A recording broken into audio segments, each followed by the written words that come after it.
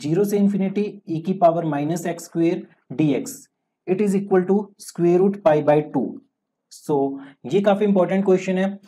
अगर बात करें कि इसे कैसे रिकॉग्नाइज करने की कहाँ से लिया गया इंटीग्रल है तो सबसे पहले हम बात करेंगे बीटा और गामा फ़ंक्शंस की। तो गामा फ़ंक्शन की डेफिनेशन हमें पता है कि गामा एन किसकी फॉर्म में होते हैं? Zero to infinity E raise to power minus X X raise to power N minus one D X तो हमें गामा फ़ंक्शन की डेफिनेशन अप्लाई करनी है इसके ऊपर। तो हमें e की पावर माइनस एक्स चाहिए और यहाँ पे e की पावर माइनस एक्स स्क्वेयर है। तो सबसे पहला काम होगा हमारा कि एक्स स्क्वेयर को टी पुट करना। सो एक्स स्क्वेयर को हमने टी पुट किया। तो यहाँ से हमें dx की वैल्यू भी निकालनी होगी। तो x को लिख सकते हैं हम t की power one by two right और dx को लिख सकते हैं वन बाई टू टी की power minus one by two D और इसे फर्दर लिख सकते हैं one by two square root T D तो x की वैल्यूज़ अगर हम इसमें पुट करें फर्दर तो हमारे पास क्या देखने को मिल रहा है? अगर x की वैल्यू ज़ीरो है तो t की वैल्यू भी ज़ीरो है, अगर लिमिट्स की बात करें। और अगर x के अप्रोच कर रहे हैं इन्फिनिटी को तो t भी अप्रोच कर रहे हैं इन्फिनिटी को।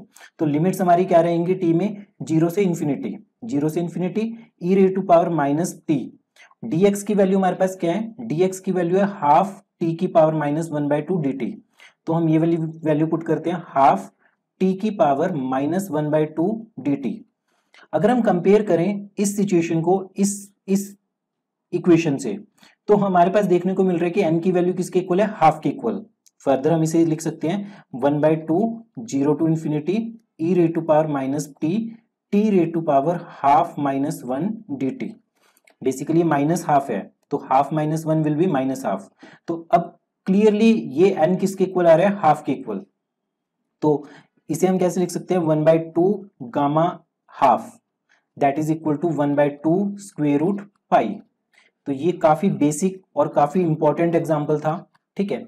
हमने, हम इसे मल्टीपल मेथड से सॉल्व कर सकते हैं। आपके पास लैपलेस ट्रांसफॉर्मेशन में भी ऐसा क्वेश्चन था, पर अभी हमें गामा फ़ंक्शन की हेल्प से सॉल्व करना था। तो सबसे पहले हमने एक्स स्क्वेयर को टी पुट किया देन अकॉर्डिंगली डी एक्स की वैल्यूज़ पुट की। लिमिट्स बेसिकली इसमें ज़ीरो से इन्फिनिटी ही रही लिमिट्स में कोई चेंजेस नहीं आए। और हमारे पास जो ये एक्सप्रेशन बना, उसे हमने गामा फ़ंक्शन के एक्सप्रेशन से कंपेयर किया। तो हमारे पास एन की वैल्यू हाफ़ आ गई। एन की value half then half gamma N तो आपके पास हाफ़ स्क्वेयर रूट पाई इसका आंसर है।